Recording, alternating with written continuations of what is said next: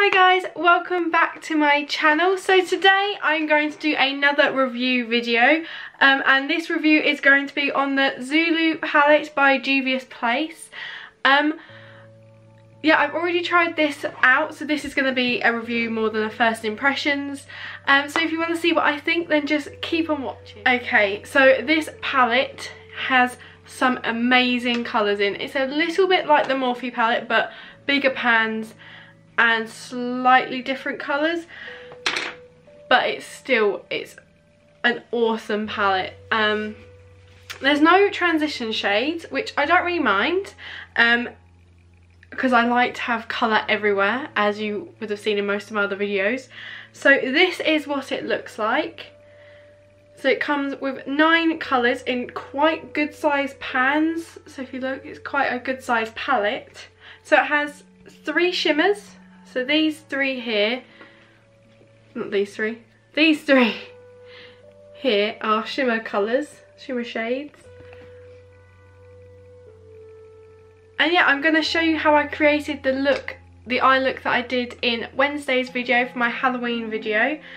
Um, and I'm going to be talking through how I like this, um, the fallout, what I think could be a little bit better um, and everything like that. So I'm just going to sit down and talk you through it. So I'm going to start off by swatching these um, and talking through the colours. So I'm just going to go through and swatch. Okay, so these are all the colours swatched. See how they're really vibrant? These two shimmer shades are incredible. So they're very creamy. Um, from what I've used on my first um, attempt on Wednesday was they didn't have a lot of fallout. Um, so they sit really nicely on the skin um, and the pigment is lovely. Okay, so I've zoomed you in. This highlighter makes me look like I've got massive bags. Um,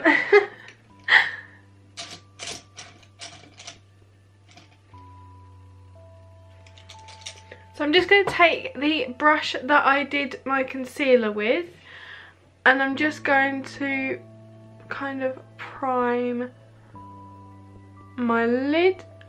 This was going to be a little bit this is going to be um this is going to be slightly different to what I did on Wednesday. So I'm just going to focus on this eye and I'll do the other eye off camera. It's going to be slightly different than what I did on Wednesday in that the colour that I put on this part of my eye to be slightly different just to use the whole palette. So I'm then to take a compact, a flat brush, going to dip into this shade down here. And I'm just going to compact that on to the outer part of my lid.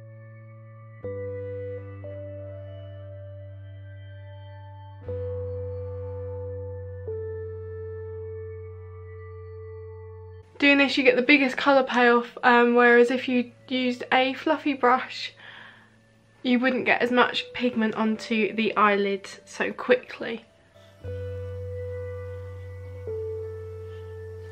Okay, so it looks kind of a weird shape. I'm then going to go in with a fluffy brush into that same purple and just kind of buff out this bit here.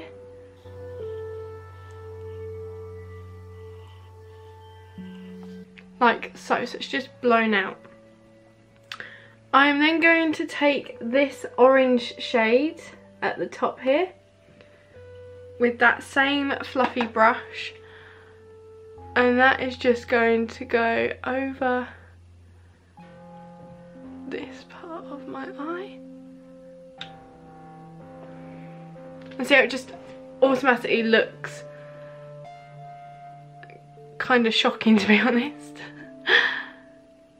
um, and from that compacting on, I've got tiny, the tiniest bit of fallout you could ever imagine. Like, it's a colourful palette and you want loads of pigments, so you're gonna get that. But I've seen palettes have more fallout, so I'm very impressed. And they just blend seamlessly like that. Just looks, I think. it looks so good. So I'm going to go back into that purple. And I'm going to go back onto that lid and just darken up that outer.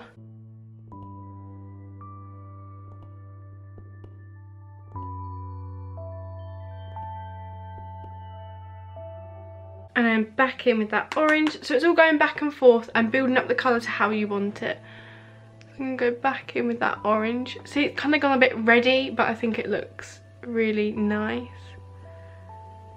And if you went in with red it would just go really murky. That's why I've gone in with. The orangey shade. And then to just blend out that a little bit more I'm going to go in with the yellow shade next to the orange at the top here.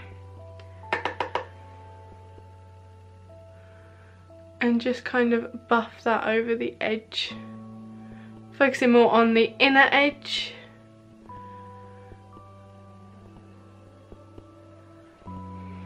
And I'm going to go back in. So it's all going back and forth back and forth back in with my flat top purple brush.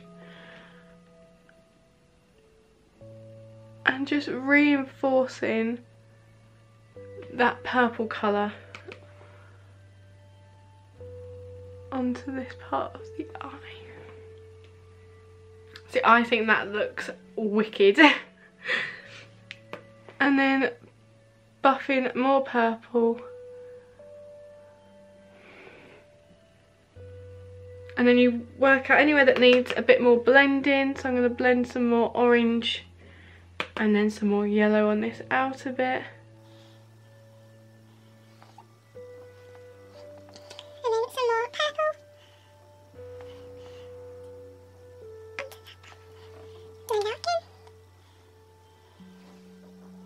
And see how that just, it, I just think this palette looks awesome. So for the bottom eyelid, the bottom lash line, I'm going to go in with another another flat brush, um, like we put on the purple with, and I'm going to go in with the red shade at the bottom. It just, it's so buttery. This is such a, like a smooth palette.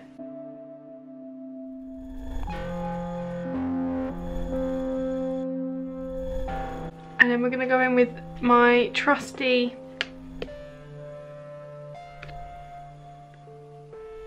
pencil brush.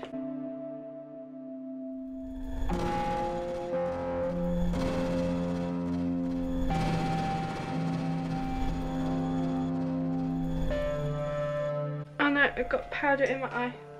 There we go. And then back in with our blending brush with that orange shade from the top again. Just to kind of blend it all together. And then back in with that yellow shade.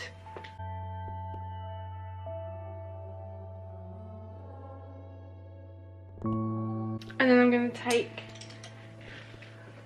a brush just to brush off any excess. And then using a smaller pencil brush, we're going to take some bit, a bit of that purple and go right along the lash line.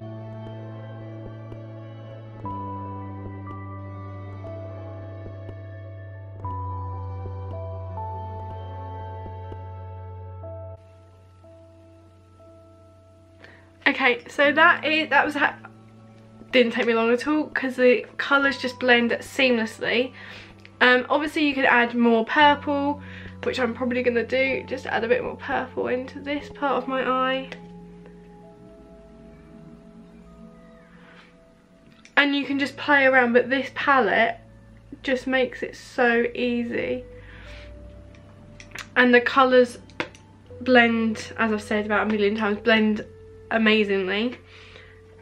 Um, there is one thing that I would say is they are very powdery, obviously, because it's a powder. but when you put your brush in, you are going to pick up a lot of powder. Uh, so you will, as I have done, every time I've picked up a bit of powder, I've had to tap off the excess. And there is quite a bit. So if you look at my palette, it's kind of dusty. If you can see that especially this red shade down here it's very crumbly but other than that I really like this palette um, we're gonna do something different which I haven't actually done before I'm not too sure. I think I'm gonna go I'm going to take the blue shimmery shade, which is this one here. And I'm going to use my finger.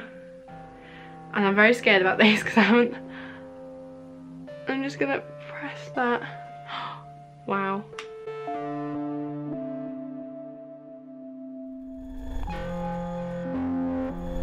And then I'm to take another flat top brush. I do like using my flat top brushes. That is highly pigmented. It does say on the back that you should use it with um, a setting spray. Maybe I should try it. I can't. I'm going to see what it's like with the setting spray. So I'm just going to use my Urban Decay setting spray and I'm just going to spritz the brush. Oh, wow.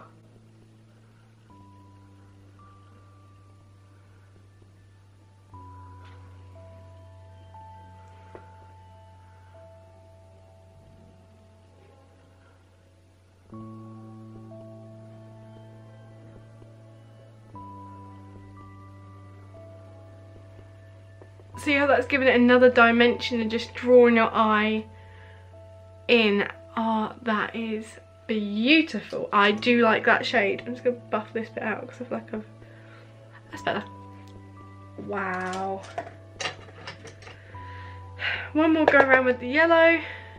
Just I would say forever blending this.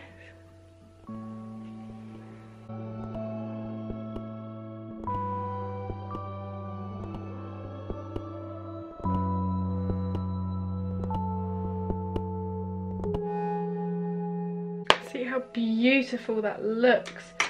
So now I'm going to put on quite a few coats of mascara.